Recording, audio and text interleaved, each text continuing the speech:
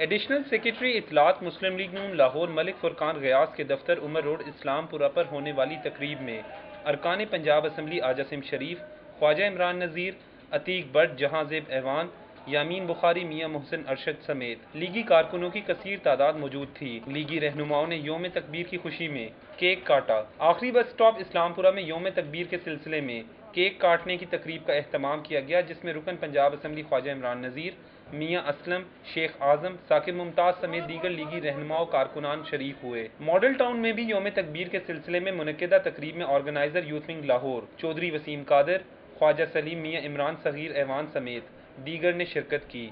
जल्लो मोड़ में योम तकबीर के हवाले से तकरीब का अहतमाम मुस्लिम लीग नून के कारकुनान, मियाँ गुलाम दस्तगीर और साबिर नंबरदार ने किया।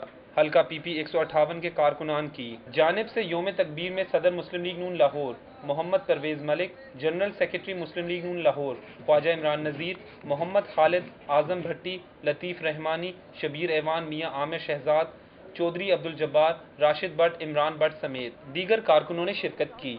केनाल बैंक स्कीम हरबंसपुरा में भी योम तकबीर की खुशी में तकरीब का अहतमाम किया गया, जिसमें रुकन पंजाब असम्बली मियाँ नवीद अंजुम, राना उमर हयात, असगर मुगल, अब्बास मुगल समेत दीगर अहले इलाका भी मौजूद थे। मुस्लिम लीग नून के रहनुमाओं का कहना है कि मियाँ नवाज़ शरीफ ने किसी भी दबाव को कबूल ना करते हुए 28 मई उन्नीस को एटमी धमाके करके कौम का सर फख्र से बुलंद कर दिया। मोहम्मद नवाज़ शरीफ ने ये तोहफा 28 मई का इतना बड़ा इस मुल्क को तोहफा दे दिया कि आप इसका यकीन नहीं कर सकते। हर दिन पाकिस्तान की तकदीर को बदल देगा और पाकिस्तान को संवार देगा। मियाँ नवाज़ शरीफ साहब दोबारा प्राइम मिनिस्टर आएँगे इन आने वाले वक्त में वही प्राइम मिनिस्टर होंगे और दोबारा मुल्क मज़बूत होगा। योम तकबीर के हवाले से होने वाली तकारीब में मुल्की सलामती के लिए खसूसी दुआएँ भी की गईं। कैमरामैन मकसूद बट के साथ Umar Aslam city forty two.